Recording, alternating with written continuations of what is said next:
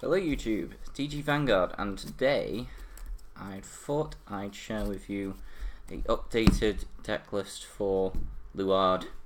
Now, since its last support in GBT 12, I believe, um, the deck's seen a lot of radical changes with what was uh, what we've what we've received in set 14, and I wanted to just quickly go through uh, the changes made and uh, this is sort of like a build that um, uh, Hesford, Andrew Hesford, helped me um, come up with. He pointed me in the direction of uh, some of the OCG lists and what they were doing, and uh, I basically came to this sort of like this basic uh, sort of build at the moment, which I'll, I'll be continuing to test.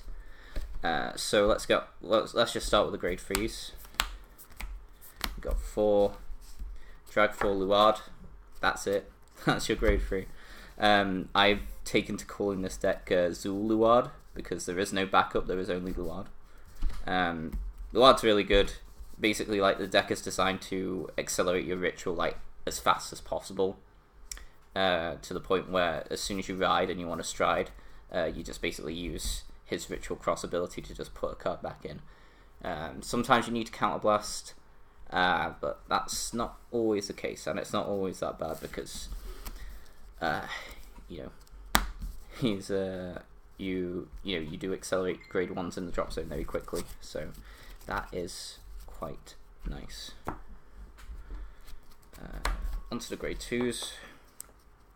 We've got four Slaptail Dragon. He's basically the new Morfessa combined with like uh, Morian Spear, where in the deck it becomes a grade one of your grade four uh, Vanguard is Luard. Sorry about the, the Facebook notifications. Um, and he gains power as well as a grade 1 unit that's called when you're ritual free. Um, this is quite nice, it basically also replaces the Granyu that was in the deck before.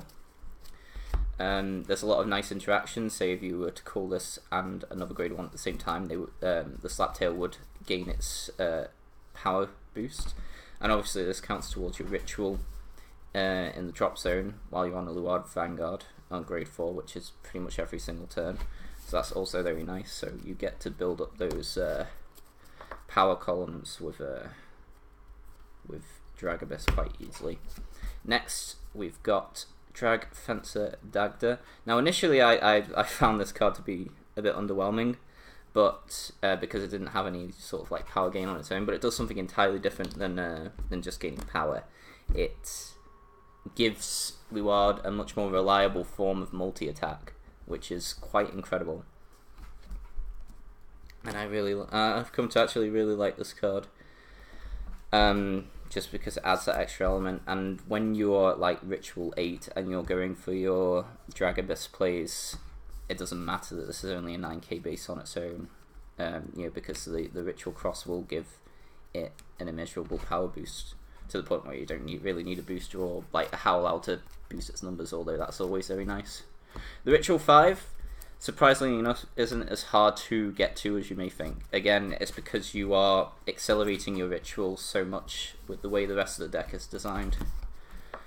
Uh, finally, in the grade twos, we've got uh, Drag Wizard, uh, Drag a Gaunan. Um, this is basically like the new sort of drop and draw for the deck, I suppose. There's sort of like a couple cards, you know. Uh, I've seen a few other builds run um, the main as well as like a two of, and that's fine. You can do that as well. Um, I, I've considered adding that in as well, just add a bit more turbo to the deck. Uh, but at the same time, this is this can also fulfill what you need and at a uh, much less risk of having a 3k grade 2 Vanguard, which can be a death sentence. Well, it is a death sentence, basically. Um, but like, Gunnan's really good as you, you know, as it, it fuels your ritual and it also like turbos you towards the ward. And you know, since you're only running four copies, you need to be drawing a lot in the early game to get there if you don't see it first turn, obviously. Which obviously there's a risk of that happening. So we've run a lot of grade ones in the deck. Obviously we've got Esras, your recycling perfect guard, the best one, the probably one of the best perfect guards ever produced for for Vanguard. Uh, there's not really much. There's not really too much to say about Esras that hasn't already been said. So we'll just get on to the newer stuff like Drag Wizard, Thalmak. Now she's really good as again early game. She helps you get to your ritual, as you can rest her. Uh, you can rest one of your ritual rear guards and discard her to the drop zone to draw a card, which is really nice and the fact that your starter is a we'll get to the we'll get to the starter but basically in the short term it is a ritual um, so you'll always have a target for like turn one or turn two which is really nice um, and then in the late game she becomes an absolute powerhouse as you can recycle her with uh, dragfall to stride and then call her back out and then she just gains seven uh, ritual five. She gains seven thousand power and resist. So on those abyss turns against certain matchups like Kagero and Gear Chronicle and Narukami, where you're sort of worrying about um, them disrupting your multi attacks. Use this as your primary attacker, and you know you won't have to worry about those pesky G guards uh, disrupting your plays, because she is like basically one of the new MVPs.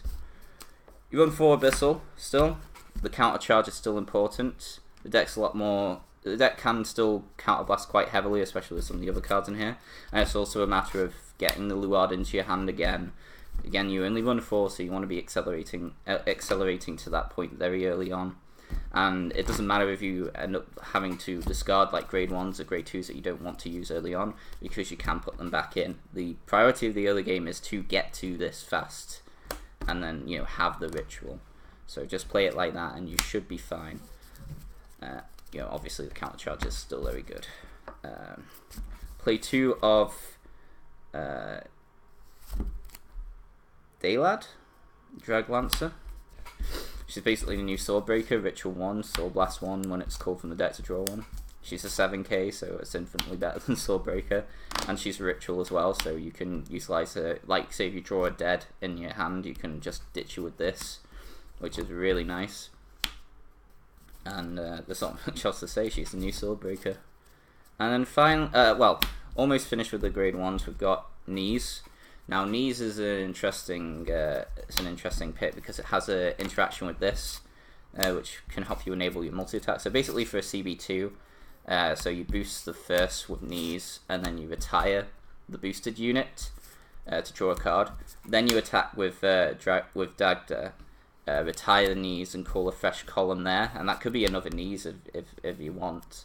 Remember, it gains 2k, so like with another 7k, that can make columns. And then you know if you're on a if you're on abyss with like at, at like ritual eight, that's uh, that's ritual four, ritual eight, that's uh, that boosts up quite nicely. Uh, so, and it also helps somewhat against some of the Link Joker matchups, partic- not Chaos. Chaos is one of the harder matchups for this deck, although you do have some ways around it. Uh, the G zone, I could I'll probably switch around the G zone a little bit to help deal with the chaos match a bit more consistently. Uh, although that just needs further testing on my end. Um, but I quite like the theory behind these. Uh, I've seen other people run Semias, the, the sort of like the counter blaster called top two. Um, I, I, I, I understand the theory behind that, and you know, I'll probably I'll, I'll probably test that as well. Um, if you're finding space, just like try and maybe cut one of these, or if you're if you're fitting in uh, the, the the mains, maybe cut these, or like maybe one of these and like one of this. Just play around with the ratios, and you you know you'll find something that will you know you'll find something that's fairly comfortable for you. So onto the triggers. Uh, we've got Belial you know, it's Luard. Why aren't you running? You know, you should be running this as a four. There's no reason not to. Um, this card is. I I can't really say any more about this card. That's already been said. It's like Esras. It's like you have to run it. Um, for Raven, I really like Raven. Raven's. Uh, you know, this is the sort of like the remnants of the old uh, filtering strategy, uh, where you you know you just basically extend through your deck to the point where it's basically your triggers because obviously this goes back in the in the end phase so you can basically just have standing crits for days uh, you know this builds your field so you can sack them with with uh, with abilities as well so that's also pretty nice and it's just a it's just a really solid card. Really. well, now it is. I remember when it first came out, I was very underwhelmed. Um, four draw triggers. In my opinion, draw triggers are probably one of the best ways that you can deal, or you can sort of like more reliably deal with Nubatama, just because this punishes rush in the early game. Is that you know this nets you a card. It's really nice. It, well, you know, you hit a draw trigger on the defensive when they're trying to rush you, and their turn is basically over. As it's a lot easier for you to guard. You have an extra card in hand. You're netting an advantage off their commitment, which is quite nice. And then, say on Renee, you just call this down. It's a 9k, and on GB3 it's 19k, so it's much easier to guard than say having to call one of these, or like one of your other weaker cards from hand. So that's why I still play more draw triggers, just because the Renee is quite a worry for me. Oh yeah, I forgot about one of the grade ones. Uh, so before we move on to the... Well, I guess I'll just go for the heal triggers. It's the new Revenger heal. That you obviously bind it to... You bind it and another one when you G-guard to either soul charge or counter charge. You want to be going for the counter charge most times, but there are some scenarios where maybe the soul charge will help you out. Uh, so that's the last of the triggers. This is the final grade one, actually. I completely forgot about this. It's Light Element Honorary. Um, this is basically your out to other multi-attack decks. You know, this this uh, this won't do you too much against Nubatama because they could potentially retire it with the new grade two or Magu Tembu before you get to use it. This is this can help you out in the Victor matchup. Uh, say if they are go if they want to go for their um, PogChamp Victor play instead of the winning champ, then this is also an option. Again, you could also call if you're if you're worrying about the GB3, you can say call a weaker unit behind it as well. Like you can call a weaker unit to support, like maybe a Howl Owl or something, just so this gets retired instead. So that's basically the last grade one. And then onto the starter, we're running the new uh, Drag Wizard Vikro. And Vikro is really nice because it obviously it's ritual, so it has interaction with Falmak in the early on, so you can just basically rest this whenever to drop Falmak to draw a card, which is really nice. Loads your ritual up.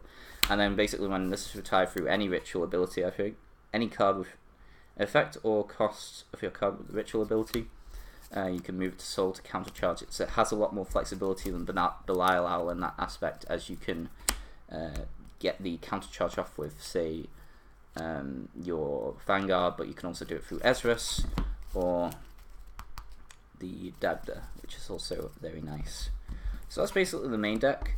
Obviously, it's probably got a bit more work to do. It's a lot more refined now than it was before. I was, I think, I was with the previous versions I was testing. It was a bit too caught in between the new and the old stuff, and didn't really have a solid direction.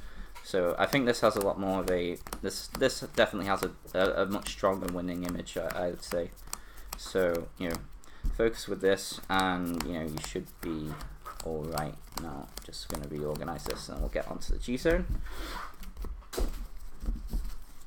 So, with the G-Zone, you run uh, the Aura pair. Uh, I'm considering cutting this, although I have found, I've still found in some instances that the extra two cards in your hand can make a difference, and it can help out quite a lot. Um, again, that's further testing. I would say this is probably probably the more the most cuttable out of the out of the out of the rest of the G zone in theory. Uh, you could probably, there are probably a couple others that you could probably swap around as well, but I don't know. This is still good in my opinion. We've got the new uh, Luard.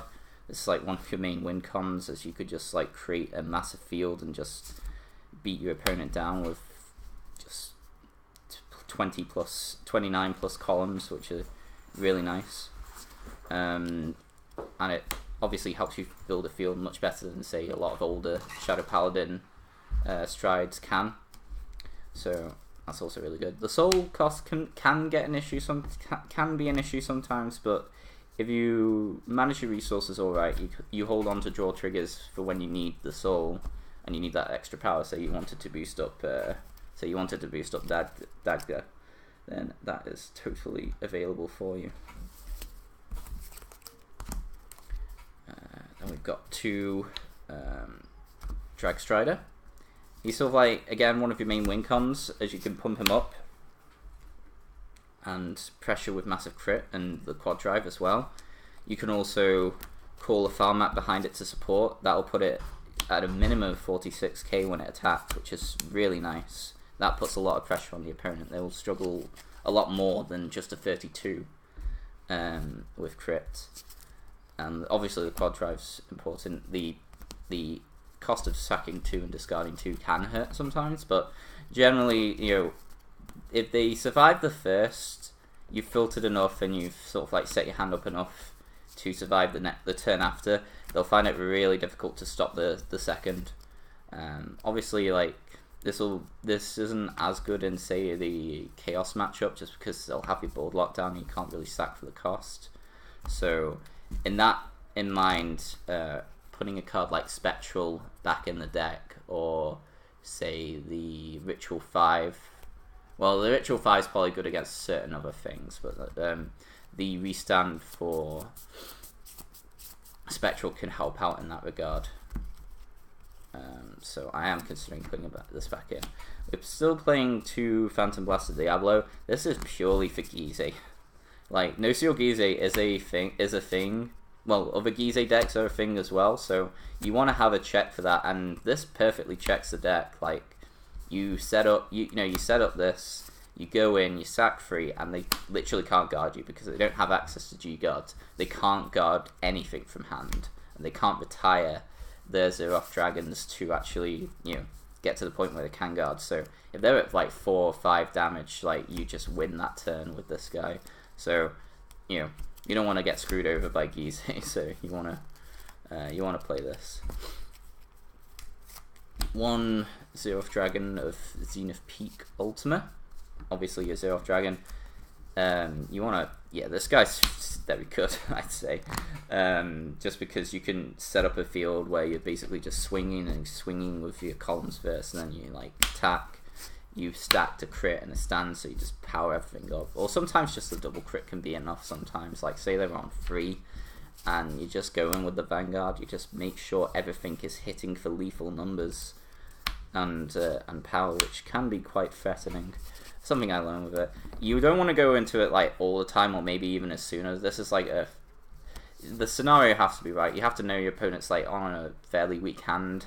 They're on fairly high damage, so like, you know, the pressure of this is is real. So you don't, you know, you don't. Obviously, you don't want to play this too liberally, or otherwise that is where you'll probably lose. Uh, just because you're still mostly a G-oriented deck, and you don't want the opponent to. You don't want to. You don't want to keep playing on a sort of a stall game. So if you see an opening, just go into this. I think, yeah. You and you're still able to trigger the stride skill with this, so you're able to control your opponent's borders while while plussing as well. So onto the G guards, uh, two plot makers just because you know it's the most it's one of the more reliable ways of getting just a solid shield on your field. Uh, we've got the Dark Veil Dragon, the new one. Uh, for a Soul Blast, you can gain 5k for every two grade ones in the drop zone. Uh, and that can really good. That's basically, you know, you can basically power up a lot stronger than the, than this in that situation. That can really help in some matchups. Uh, I can't think of any off the top of my head, but I'm sure there must be something. Um, but yeah, this is just a solid card. It's, you know, it's it can help in, in the Messiah matchup in particular, where you know they're swinging for a very large harmonics, and you just play this Soul Blast, and you know you can basically like get up to close or like or even block it entirely with this card sometimes, and that's really nice. Uh, the soul cost can be an issue, but like I said, if you manage resources properly, this shouldn't be too much of an issue. And then finally, Bronarch just because she can load up your ritual early on. Say if like you're forced to ride grade 3 first, but you have the heal trigger. Like generally, this is like your first G guard you play because you are running a lot of grade ones in this deck. So um, just loading up the ritual in the drop zone can like just you know it can just set you up really nice. And uh, that's basically the the Luard deck for uh, for set 14. Obviously, I'll be changing around a few cards. Uh, I have considering running the stand trick, the other stand trigger, the one that treats itself as a sack two and recycles itself. Um, I don't know exactly know what to cut, just because I prefer the draw triggers. If you were to put it in, I would probably say either cut like one or two of this, or like maybe like cut one one of these and one of these for the two stand triggers, or you could cut two for the two stand triggers if you're feeling uh, if you're feeling that's probably if, if you're feeling that's a better direction. Uh, the main is also a card you can consider playing just for that extra turbo. In that instance, probably either uh, you probably want to cut probably in like some of these. You choose from those as like cards to cut to fit the mains into the grade two. Um, obviously, one of the key weaknesses of the deck if if you if you don't draw Luard even after all the turboing, then obviously you're in trouble. Um, and if you don't hit it off Geosis, then you're also in trouble. So like, if you're damaging this early on, I would, and you don't have it in hand, I would start to worry. Um, other sort of weaknesses is Drachma, obviously, because you only play four grade threes, so you're running the risk of um, being forced to ride down on the Drachma play. However, the theory is with this deck is you know you are still Luard, you still draw you still draw a lot of cards. So and you don't need to ditch anything to strive with this deck. So when you get Luard against those against the uh, Dragon Nation uh, against the Dragon Empire matchups that threaten Drachma, you just keep this in your hand and discard something else for your PG. Um, and that's basically how you sort of play around Drachma. Obviously, that needs more testing in theory, but I don't know. That's just the way I think it should go. But anyway, that's the deck. Uh, I hope you enjoyed it. Um, I will be doing a Messiah profile soon. I'm waiting on a few more cards to come, just because uh, my pre-orders got messed up a bit. So uh, we didn't get the I didn't get the the supply didn't get the stock they needed. So uh, I'm not I wasn't I wasn't able to get some of the key cards like integral, and I'm still waiting on. I'm still basically waiting on one integral. I've got uh, ideal egos and one integral coming in the mail. I've got my Stark already, so I'm just waiting on one last integral basically. Uh, but I'll come. I'll. I'll once I've tested with that a bit more and got the cards, I'll give it. I'll give the deck profile for the Messiahs updated. Uh, so for now, I'll just leave it there. Thanks YouTube. We'll see you.